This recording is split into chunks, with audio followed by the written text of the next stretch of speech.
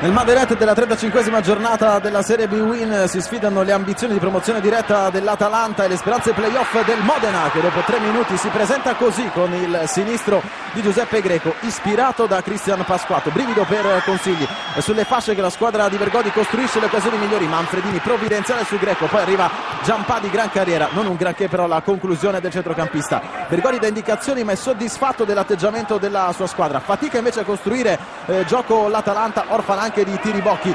Qui apre Ruopolo per Pereira Pinto, il gol è irregolare al 29 per la posizione di fuorigioco del brasiliano, piuttosto eh, fuori partita e poco cercato peraltro da parte di eh, Padoin e Carmona, più compassati rispetto alle ultime uscite. Il Modena gioca bene a cavallo tra ventesimo e venticinquesimo, Pasquato e Mazzarani però faticano a inventare qualcosa il prodotto scuola Juve ci deve provare da quasi 30 metri. Consigli però controlla con lo sguardo.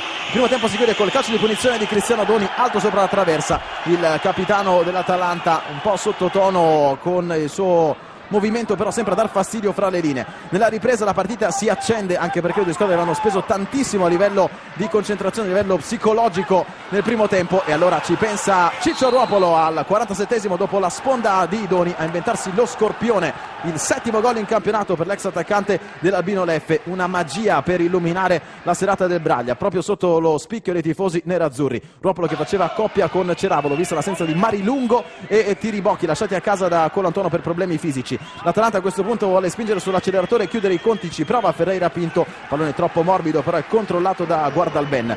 Il primo cambio azzeccato da parte di eh, Bergodi perché entra Signori al posto di Tamburini e diventerà subito uomo decisivo. Qui Pasquato lavora benissimo il pallone sulla tre quarti, un rimpallo di Peluso spiana la strada proprio a Francesco Signori, tocco dolcissimo sotto misura, terzo centro in campionato per il 22enne milanese. Tutta la gioia di Cristiano Bergodi, autore di un autentico miracolo in questa stagione alla guida del Modena. Un po' sfortunata la difesa dell'Atalanta, 23esimo gol subito in 35 giornate da parte degli uomini di Colantuono.